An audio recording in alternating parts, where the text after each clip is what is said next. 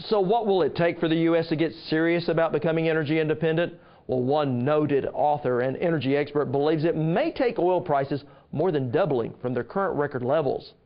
Matthew Simmons is chairman of a specialized energy investment bank and presented a program called Twilight in the Desert, the coming Saudi oil shock and the world economy, as part of the Samuel Roberts Noble Foundation series called Profiles and Perspectives.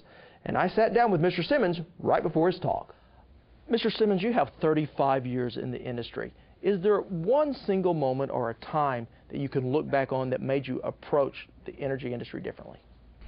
It was it was the anger I got when I started actually digging into the macro and realizing that all these people we trust as experts in the in the in the, hadn't done their homework, and I, and I got more and more d- uh, dismissive of conventional energy wisdom, and I got more and more convinced that most of these guys that go around oh, here's the answer, just they've heard it from someone else. It's not an industry that has been very good at analyzing itself, which is why we got in the problems we're in today. Now, you've written the book Twilight in the Desert. Explain that title to me.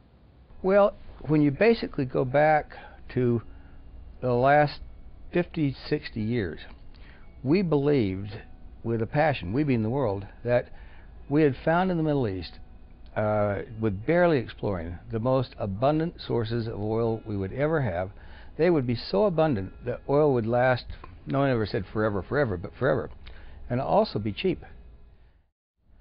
And over the last 30 years, there was almost no data on the Middle East, and I finally stumbled into just enough facts to say, you know what, I'm a big enough data nut now. I'm going to see if I can figure out the real answer to this. And by the time I thought I figured it out, I said, I'm going to I'm going to turn this into a book because we basically we are we're at the we're at the end game of the ability to produce abundant amounts of Middle East oil with a handful of wells, and and the those fields are too old. They're depleting. The oil left is abundant, but it's just lesser quality oil. Tight rocks. We have to have lots of individual wells. So the so the era of Middle East oil as we knew it is over, and and we're going to go into a tougher time of being able to either grow Middle East oil supply or keep it flat. And and there is a scenario that you can't keep it flat. And so and in the meantime, the world based every single long-term plan that anyone ever did on the implicit assumption, don't worry about oil supply because the Middle East will be there forever. So while supply may well be going down, demand continues to oh, increase. demand demand is insatiable.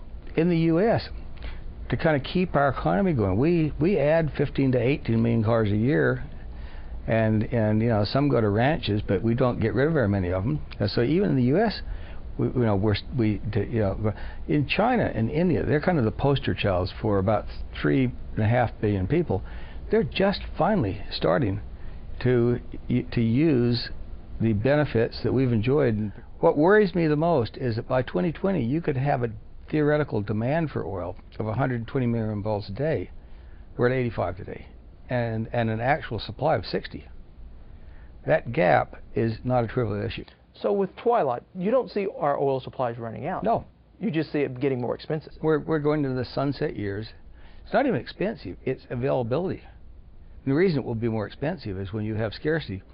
You know, there is there are a lot of economic things that get tossed around. They're just theories, but there are a few basic when you have twice as much demand than you have supply, prices don't stay cheap. With the changes that we're seeing currently in, in our energy situation, it certainly has economic implications, but does it also have social implications? Well, yeah, it ha- if it has enormous social implications because if we if we ignore the issue, and I'm right, and we do start to see you know demand going like this and supply going like that, we have scarcity, we have shortages, we have hoarding, that, and then we have fistfights. Whether the fistfights end up morphing into, you know, the ugliest war, you know, the, you know, World War III, if we ever have it, will make World War II look like, you know, you know, some cannon, some some cannon fights. So we really shouldn't even. But I just think if we don't address these problems, and we just let the free market work, uh, then we're headed we're headed into a really ugly, you know, wrap up of the 21st century before it were even started. So our energy crisis is much more than just greedy oil companies or supply and demand. No. Oh, yes. I mean, this is this is basically the end game of 50 years of energy mistakes. Let's talk a little bit about government policy. What can our nation do to help circumvent this current crisis? Over the horizon might well be a new suite of transportation fuels that actually start to substitute for for oil. Uh, so, my opinion, the only thing we can do is figure out how to use less and buy ourselves time to work on this transition. And, and is that a transition into more renewable fuels? Well, eh, well, if it's not that, I don't know what it is. It's not an electric car. Uh, that's a non-starter because electricity has to have a feedstock, and so you just compound your problem.